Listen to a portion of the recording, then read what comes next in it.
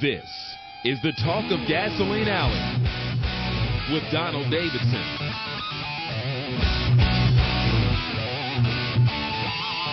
I have a question um, about qualifying. Way back in 1969 on pole day, Yeah. there was a fellow by the name of Jigger Sirois, Yeah.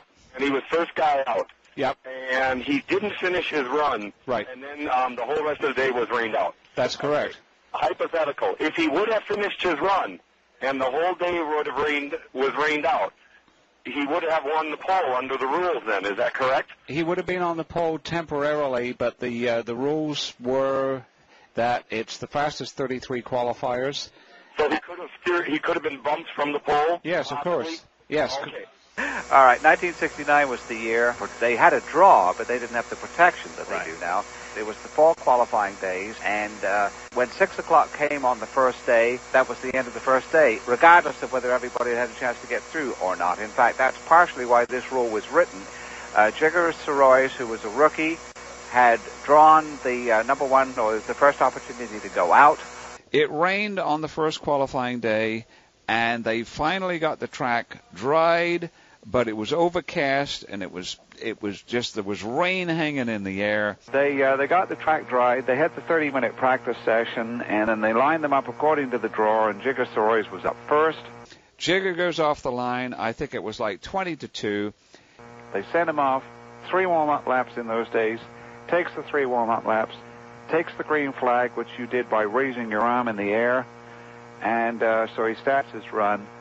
And he went out. Uh, he had four or three laps rather that were like 161.4, I think, which sounds like nothing now. But then that was sort of right in, shall we take it or shall we not? Right. And uh, apparently the crew had decided to go ahead and take it. And in those days, you only got one checkered flag. You got up to three attempts, but only one checkered flag. And apparently, the crew were going to let him go and take the time. And at the last moment, Myron Caves, who was the car owner, grabbed the yellow flag, waved it, and that aborted the run. So Jigger comes in. The next car goes out was Arnie Knepper, and I think he took maybe one or two warm-ups, and then the yellow came on because it was sprinkling with rain. Knepper comes in, and it ended up raining out the rest of the day, and in fact, it rained out the rest of the weekend. So there were no qualifiers. It was one incomplete attempt, and everybody uh, w- from that point on said if Jigger had gone ahead and finished the fourth lap, he would have been on the pole.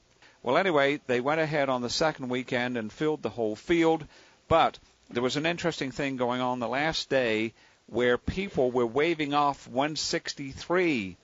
Uh, and and remember that Jigger's three lap average was 161.4, and people did, nobody wanted to be the slowest. And then uh, there were still spots open when Jerry Grant went out on a practice run with about 45 minutes to go, or, or, or maybe just a little bit more than that, and an oil came, oil line came adrift, and oil down the track. And uh, by the time they got the track cleared, there was only about 30 minutes to go. There were spots open, and it was a case of just going the four laps, and uh, and you could just make the show. And in fact, Peter Revson uh, was the last qualifier and had a four lap average at 160 point something. And everybody said, look, you know, Jigger could have made it because he was running 161. But had Jigger gone ahead and completed the run, it wouldn't have held up because the other people would have had something to aim for. Nobody wanted to be the slowest. And uh, so, uh, could the pole car be bumped? Yes. But then the other thing I say is that qualifications are not over until they're over. And the way the system was in those days, you were merely posting your time and speed, and you'd have to wait and see that it held up or not. If Jigger had gone ahead and taken the four laps and been on the pole temporarily, I do believe that he would have been bumped out. So uh, Jigger, under those, uh, you know, if you look at the bottom end speed, Jigger would have made it. But my feeling always was that had he gone ahead and qualified, that would have given the people something to shoot for, and I think he ultimately would have been bumped. And I'm also curious if Jigger Sirois ever did qualify for a race. Okay, no, Jigger never did, but he was there from 69 until 75. And uh, I think he was on the track uh, every year, just about every year. and he did make qualifying attempts. In fact, uh, the, probably the, the the closest that he got actually was in uh, 1974 when he qualified and was bumped and was the second alternate starter. But anyway, Jigger, in fact, I just talked to him a few days ago. He's still living over in Virginia.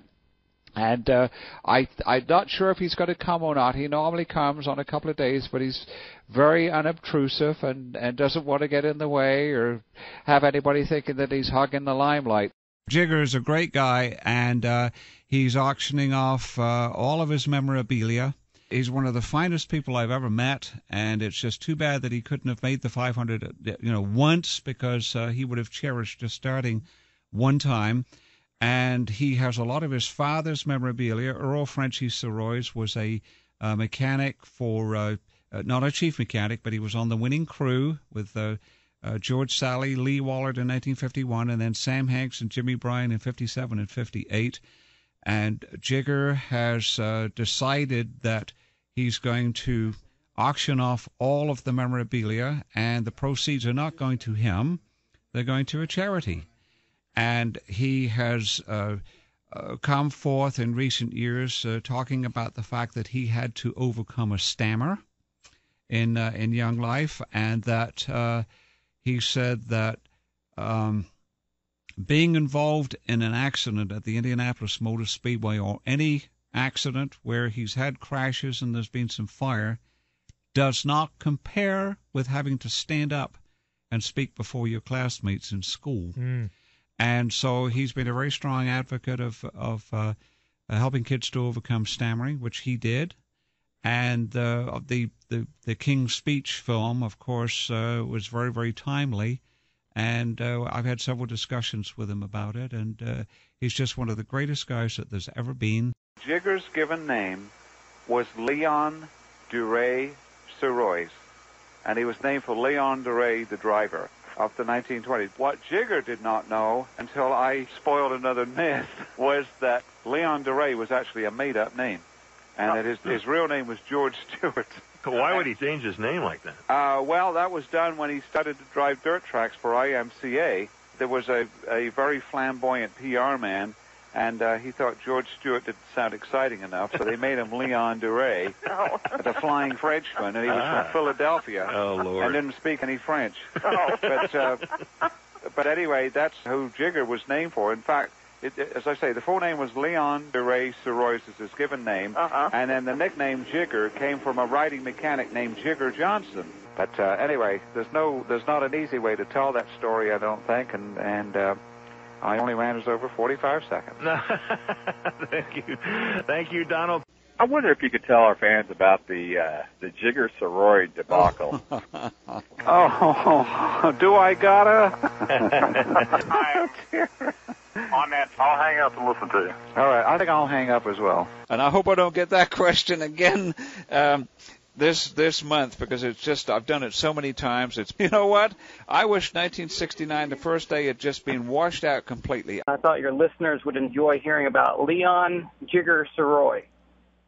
Well, I'll tell you what. Uh, they might enjoy hearing it, but I would not enjoy telling it. So I really don't want to do the Jigger story again, if you don't mind.